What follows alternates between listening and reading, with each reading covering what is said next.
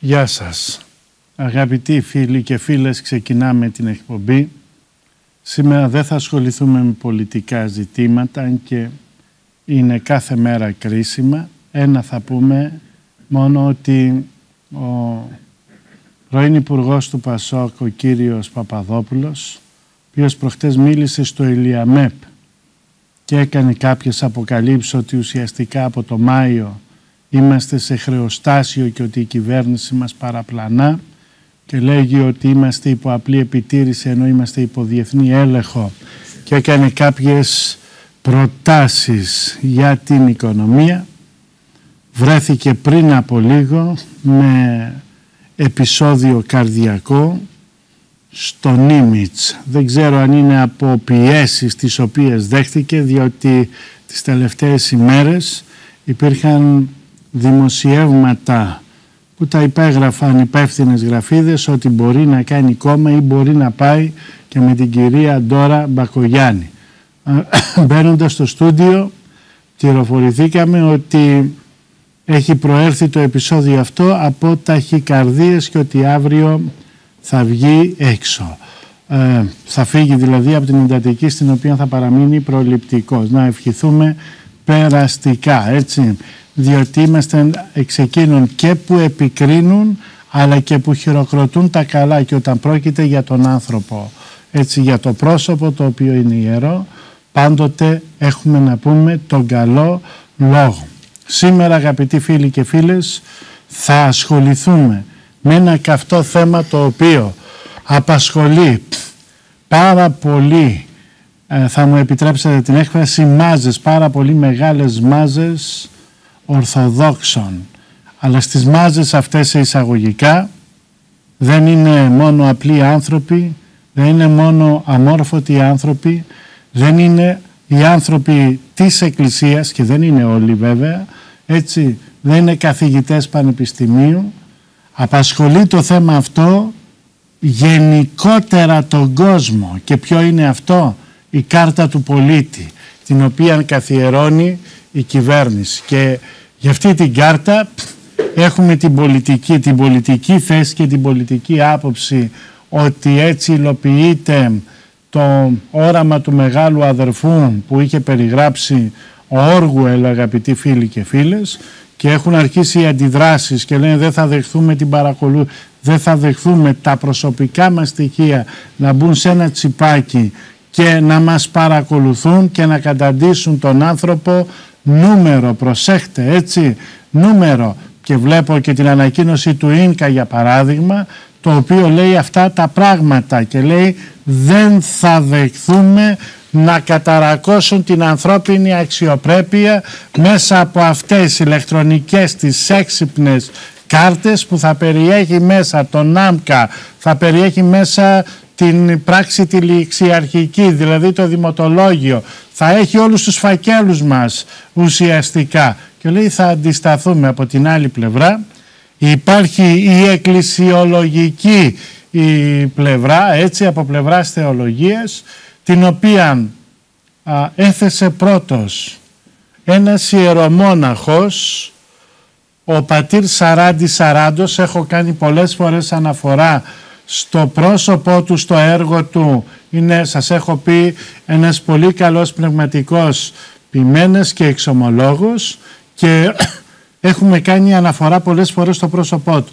Ο πατήρ Σαράντος Σαράντης, τον οποίο έχουμε σήμερα μαζί μας, έτσι καταπέτυνση δική σας, έτσι πολλές φορές μας είπατε φέρτε τον, είναι ήδη μαζί μας. Ο πατήρ Σαράντης Σαράντος έβαλε το θέμα του ΆΜΚΑ, έβαλε το θέμα του, της κάρτας του πολίτου και το, το, το, υπόμνημα της κάρτας του πολίτου δεν το υπέβαλε έτσι αυθερέτω, ζήτησε την άδεια του νέου Μητροπολίτου Κηφισίας και μέσω αυτού έτσι απεστάλλει στην ιεραρχία και στον πρόεδρο της Ιεράς Συνόδου, τον Αρχιεπίσκοπο Αθηνών, τον κύριο Ιερώνυμο.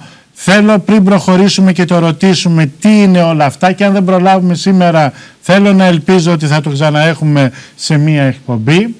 Ε, θέλω να τονίσω ότι Μητροπολίτες από όλη την Ελλάδα είναι έντονα προβληματισμένη σχετικά με το εάν σε αυτή την κάρτα υπάρχει ο 666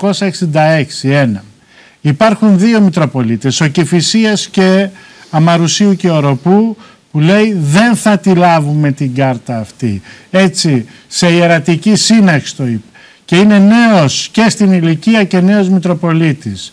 Λοιπόν, έχουμε το Μητροπολίτη Αργολίδος, έχει γεράματα, είναι σεβάσμιος, ερμηνεύει τα κείμενα της Εκκλησίας, έτσι θεία κείμενα και λέει προτιμούμε να πεινάσουμε παρά να πάρουμε την κάρτα του πολίτη. Έχουμε τον Μητροπολίτη Ξάνθης εχθές, ο οποίος βγήκε και είπε ανοιχτά ότι αν περιέχει μέσα τον 666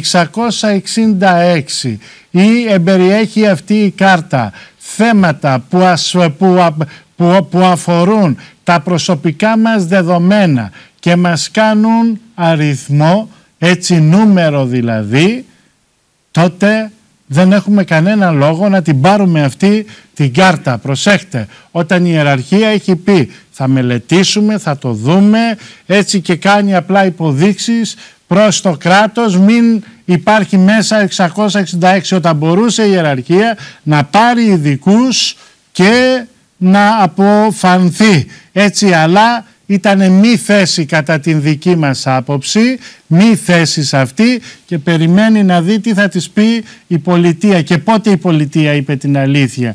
Τέλος θέλω να πω και θα αρχίσουμε με τον πατέρα Σαράντο. Εχθές το βράδυ μου απεστάλλει ένας όγκος ε, ε, βιβλίων σε φωτοκόπιες και αυτά από έναν πατέρα της σύγχρονης Ορθοδοξίας που έχει αποσυρθεί διότι έκανε εξορκισμούς και το απαγόρευσε η ιεραρχία, τον πατέρα Σάβα Αχιλέος, ήρθε ένα πνευματικό παιδί του, μου έφερε διάφορα βιβλία τα οποία αφορούν τη νέα εποχή, την ηλεκτρονική ταυτότητα, παλιές εκδόσεις βιβλία που δεν κυκλοφορούν σήμερα.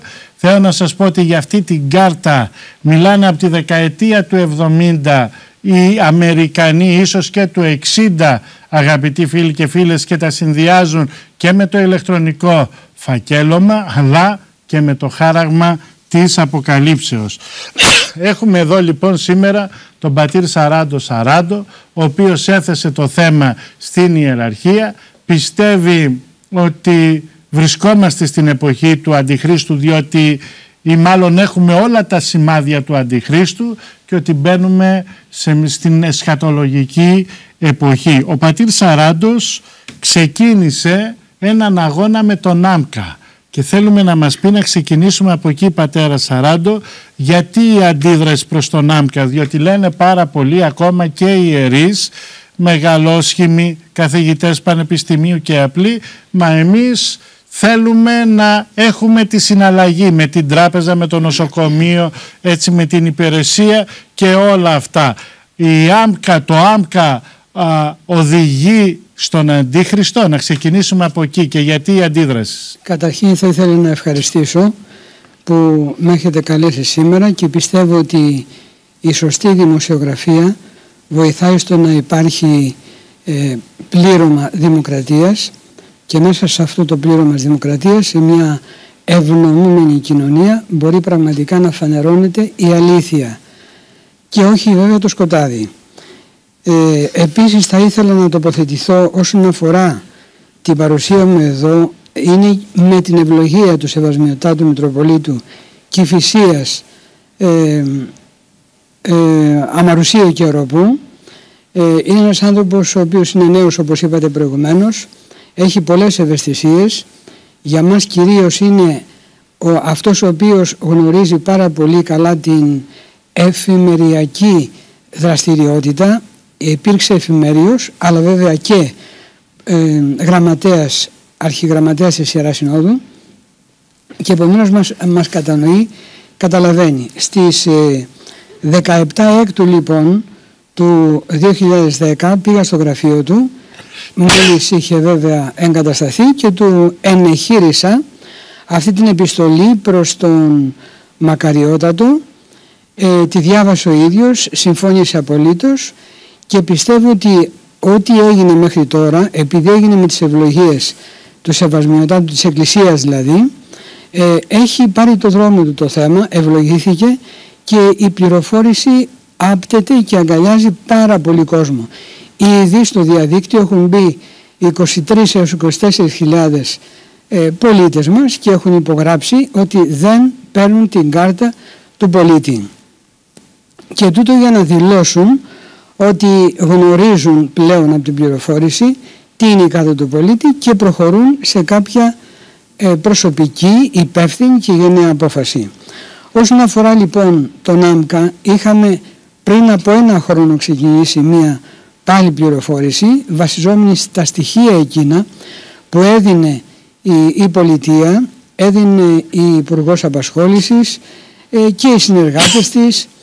Ε, μας είχε απασχολήσει πάρα πολύ το θέμα. Καταλήξαμε στο ότι ο αριθμός αυτός ο οποίος σχετίζεται με τον, με τον βασικό ε, αριθμό, ε, δηλαδή ημερομηνία, μήνας και χρονολογία της γεννήσεώς μας ε, και υποκαθιστά έτσι μαζί με άλλα νούμερα που υπάρχουν υποκαθιστά το βαπτιστικό μας όνομα, το αληθινό μας όνομα και έτσι θα είμαστε γνωστοί στο καινούριο το εγγενιαζόμενο κράτος, ε, το παγκόσμιο κράτος, ε, θα είμαστε γνωστοί με έναν αριθμό. Άρα ο άνθρωπος αριθμοποιείται και βλέπουμε ότι σήμερα μετά από 1,5 περίπου χρόνο, ε, ένα και κάτι, ξεσηκώνονται αυτή τη στιγμή ο ιατρικός σύλλογος, οι γιατροί, έχουν κάνει μια προσφυγή σε δικαστήριο και λένε ότι δεν θέλουμε να τοποθετούμε τον άμκα το δικό μας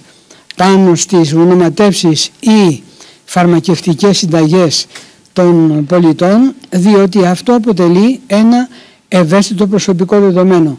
Δεν μπόρεσαν αλλιώ να το αιτιολογήσουν οι άνθρωποι, δηλαδή θα λέγαμε θεολογικότερα, αλλά έστω και έτσι όπως το δικαιολογούν νομίζουμε ότι πράγματι είναι και έξω από την στενή θα λέγαμε σε εισαγωγικά αντίληψη κάποιων Ορθοδόξων ή κάποιων θεολογικών σκεπτομένων ότι είναι μια αντίδραση που φτάνει μάλιστα στο δικαστήριο. Στο Συμβούλιο Επικρατείας συγκεκριμένα. Στο Συμβούλιο Επικρατείας, μάλιστα. Άρα λοιπόν ο ΆΜΚΑ καταργεί το βαπτιστικό όνομα του προσώπου και τον καθιστά αριθμό. Μας λέτε και εξυπηρετεί την λεγόμενη παγκόσμια ηλεκτρονική διακυβέρνηση ή την παγκόσμια διακυβέρνηση; Την παγκόσμια, καταρχήν την ηλεκτρονική διακυβέρνηση αλλά υπό τον όρο ηλεκτρονική διακυβέρνηση φαίνεται ότι υπάρχει η παγκόσμια ε, κυβέρνηση όπως θα εξηγήσουμε παρακάτω. Ο Πρωθυπουργός μας ήδη τώρα μας ε, μιλάει για παγκόσμια ε, κυβέρνηση και αυτό το έχει πει αρκετές φορές όπως επίσης και άλλοι ηγέτες Ευρωπαίοι. Θέλω να σας ρωτήσω κάτι πριν προχωρήσουμε στην κάρτα τι είναι η παγκόσμια κυβέρνηση, διότι ο κόσμος ακούει πολλοί δεν πιστεύουν σε αυτά τα πράγματα, έτσι. Τι είναι η παγκόσμια κυβέρνηση και γιατί πρέπει να μας φοβίζει; Ήδη ο Πρωθυπουργός μας ε, ανέφερε σε μια συνεδρίαση του ΟΗΕ We need a global government and fast. Λέει θέλουμε μια παγκόσμια κυβέρνηση και γρήγορα.